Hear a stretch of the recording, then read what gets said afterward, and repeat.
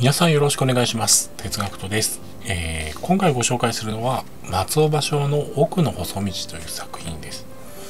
松尾芭蕉はが主に、えーと、欧州や北陸の旅を俳句を交えて記した、えー、気候文の気候文作品と呼ばれていて、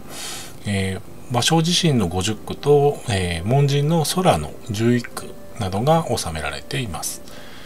月月日は100台の価格にしてで始まる序文が、まあ、非常に有名な作品です、えー、ちょっとあらすじをご紹介すると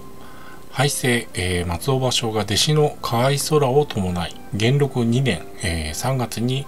江戸深川を立ち欧州北陸の名所旧跡を巡り同年9月に、えー、大垣に到着するまでを俳句を交えて記した紀行文です。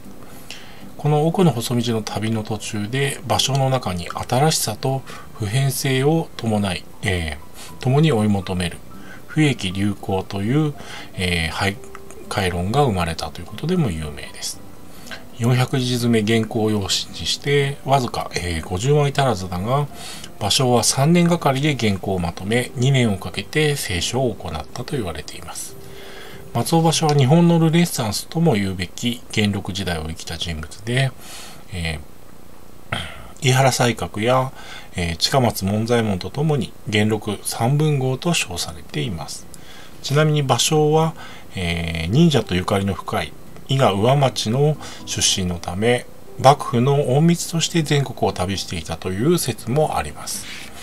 まあ、あの、有名な作品ではありますが、まあ、ぜひ手に取ってみて読んでみてはいかがでしょうか。どうもありがとうございました。動画をご視聴いただきありがとうございます。新しい動画を見逃したくない方は、右のチャンネル登録ボタンからぜひチャンネル登録をお願いします。